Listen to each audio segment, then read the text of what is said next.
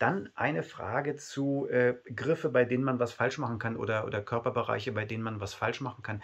Also wie sieht es damit aus? Äh, ich meine, du hast ja gleich gesagt, dass im, im äh, Wellness-Therapeut-Bereich, Wellness-Masseur-Bereich ähm, du bestimmte äh, Körperbereiche eben nur mit allergrößter Vorsicht anfassen darfst oder eben auch gar nicht anfassen darfst, weil eben dieser, dieser Begriff so definiert ist. Wie ist das jetzt für die Leute, die äh, das nicht professionell machen, sondern tatsächlich zu Hause an ihrem Liebsten anbieten wollen oder was weiß ich, vielleicht jemanden haben aus der Familie, äh, wo jemand sagt, oh, ich habe Rückenschmerzen oder ich habe Lendenwirbelbereichprobleme.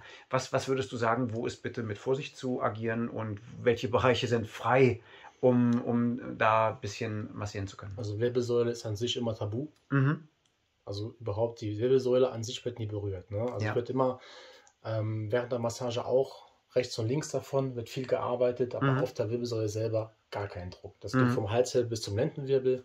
Die ist an sich ein Tabubereich, mhm. weil eben auch sehr viele Nerven daran verbunden sind, wenn man da einmal falsch drückt oder ja. mit zu viel Druck dran geht, da kann man besteht die Gefahr, dass was eingeklemmt wird, was verzerrt wird und dann hat man ein richtiges Problem. Sowohl mhm. ich als Wellness-Therapeut, aber auch im privaten Teil. Ich denke, keiner möchte seine Liebsten auf einmal mhm. so rumhumpelt, weil ja. ich ja. einen Nerv eingeklemmt habe oder irgendeine Reizung ausgelöst habe. Ja.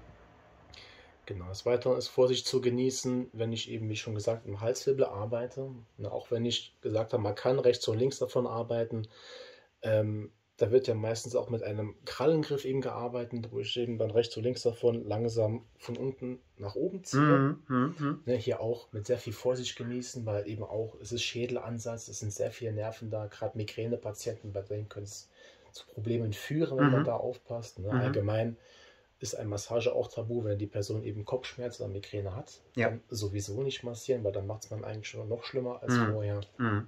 Wenn man der Person was Gutes tun will, dann eben auch nur an Tagen, an denen halt keinerlei Beschwerden da sind. Mhm. Ne, wenn ich nur Rücken, Nacken, Schulter mache, ja, natürlich auch im Nierenbereich ist mit Vorsicht zu genießen, da ich nicht mit so viel Druck daran gehe. Man kann leichter mit dem Handballen von, von der Wirbelsäule aus quasi leicht runterdrücken, seitlich runter, das ist in Ordnung. Sobald ich die Rippe spüre, mache ich dann Schluss. Das mhm. ist dann quasi mein Tabubereich, also mhm. also mein Arbeitsbereich. Mhm.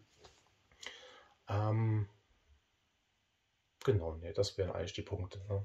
Wirbelsäule, okay. Halswirbel und halt eben bei dem Nierenbereich seitlich ja. nicht zu viel Druck ausüben.